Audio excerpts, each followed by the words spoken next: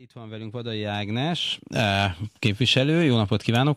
Volt honvédelmi államtitkár, kívánok. ez talán fontos. Ugye tegnap lemondott Hende Csaba, a honvédelmi miniszter és Simicskó Istvánt jelölték ki utódjának. Most akkor én ebből az irányból indulnék, ha megengedi.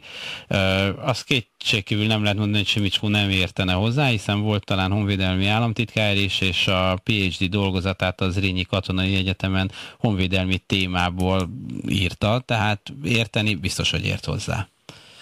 Szerintem az, hogy valaki volt honvédelmi államtitkár, meg nemzetbiztonsági bizottsági elnök, meg ott a Zrínyi írta a doktoriát akkor, amikor már képviselő volt, ez még semmit sem jelent.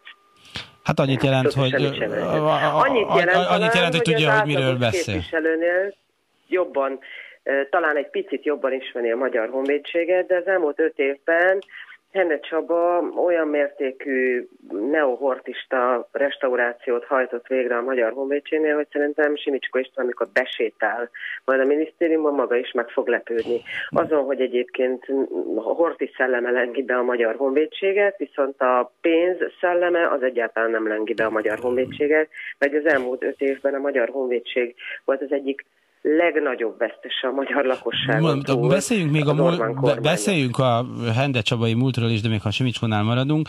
Uh, ő az egyetlen olyan képviselő, ha jól emlékszem, aki nem szavazta meg az Európai Unióhoz való csatlakozást, talán azzal a kikötéssel, hogy ilyen feltételek mellett nem, tehát nem azt mondta, hogy általában ne legyen Magyarország az Európai Unió tagja, de kétségkívül, hogy talán ő az egyetlen képviselő, aki az EU csatlakozás ellen szavazott a képviselők között. Van ennek bármi jelentősége, vagy ez már rég volt, nem számít?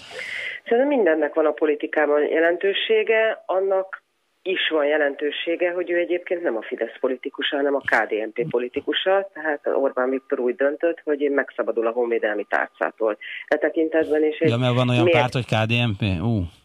Hát papíron egészen biztosan van annak, egy, annak a pártnak egy miniszterelnök helyettese, és úgy hívják, hogy semmilyen Zsolt, ha valaki ja, nem ő, aki csoda, csodaszarvast alvatott most Tehát itt a magyarul a, immáron a Fidesz végérvényesen beteljesítette azt, amit eddig is gondolta a honvédségre és a honvédelmi politikára, hogy számára ez érdektelen, hiszen egy olyan párt e, tagjának adja ezt a, ezt a tárcát, amelyik a, ön is mondta, hát mérhetetlenül népszerű, leginkább mérhetetlen.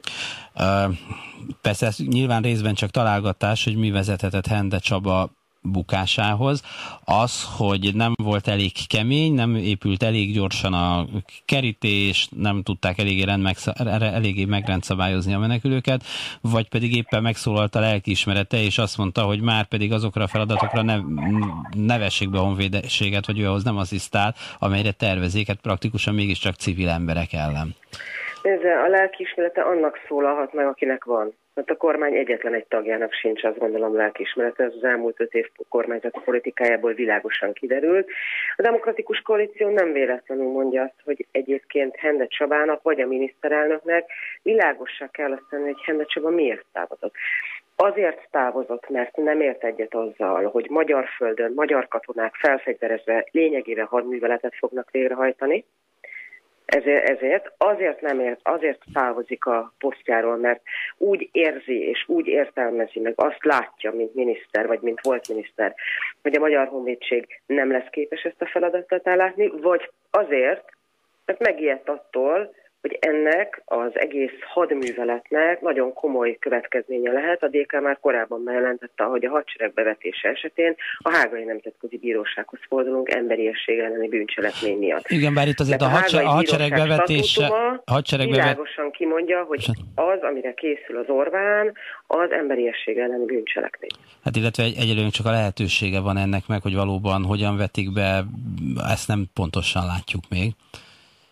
Nézze, a, a, ahogy most be akarják vetni, az azt jelenti, hogy fegyveresen kívánja bevetni a magyar honvédséget magyar területen átatlanokkal szembe, civilekkel szemben.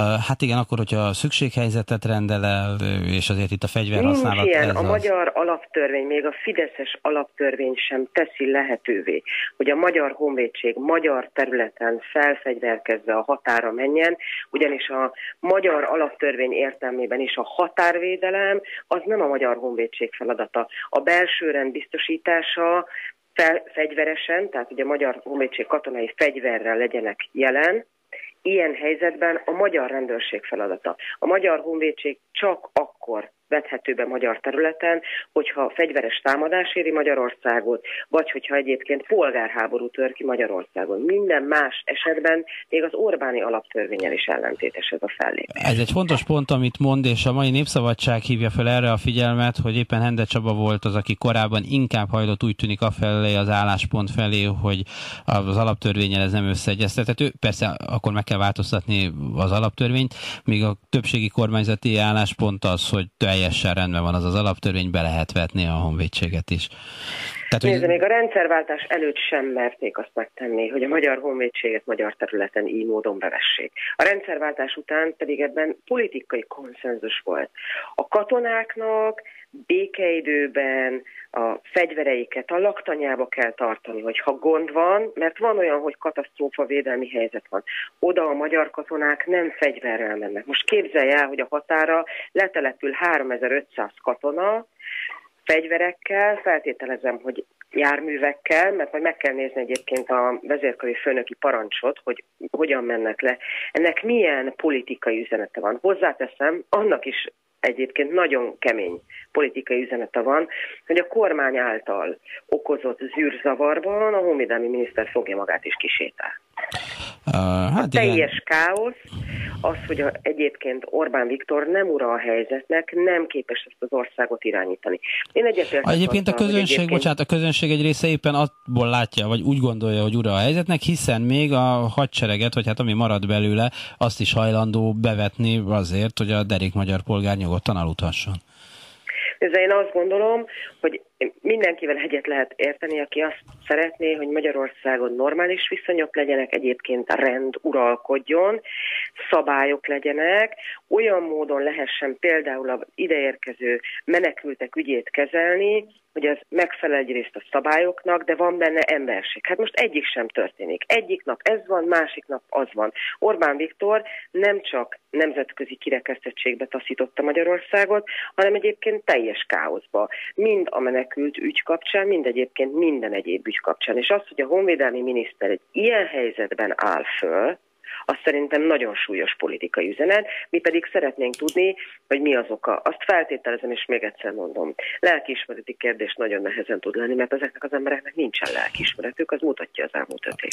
Magyarország NATO tagország is van ilyenkor valami egyeztetési kötelezettség, hogy ki egy NATO tagország honvédelmi minisztere, vagy ez minden ország szuverén ügye, aki van, az, az képviseli Magyarországot a nato Ez minden országnak a szuverén ügye. Ma, ma 10 órakor majd a Honvédelmi Bizottság előtt kell némi egyeztetés egyeztetést végrehajtani a kijelölt miniszternek. Tíz órakor fogjuk eh, Simicsko Istvánt eh, meghallgatni. Nézze, sokkal többet és okosabbat ő sem tud mondani. Elvállalt ezt a feladatot, ki tudja miért, ambíció, ahogy ő vagy ő írta, megtiszteltetés, vagy nem volt más lehetősége, mint hogy elvállalja.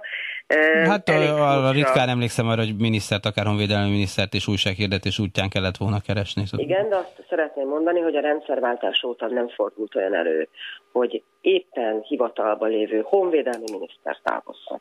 Ilyen nem fordult elő, és ez azért rossz, mert a magyar honvédség most függetlenül attól, hogy ki volt kormány, azért végig tudta vinni minden miniszter egy cikluson keresztül. Most nem minősítem a minisztereket félreértés ne essék, Szabó János, vagy Fürlest, vagy Hendecsabát, vagy bárki más. De az, hogy egyébként még a ciklus közepe sincsen, és távozik a honvédelmi miniszter, ez instabilá teszi az egész rendszert. A hadseregnek, a hadsereg az egy biztos pont kell, hogy legyen, és azt kell a katonák egyébként, és a katonai vezetés érezze, hogy biztos politikai képviselet áll mellettük. Most Orbán Viktor ezt is be tudta bizonyítani, hogy egyébként a hadsereg sem áll biztos lábakon e tekintetben, politikai tekintetben.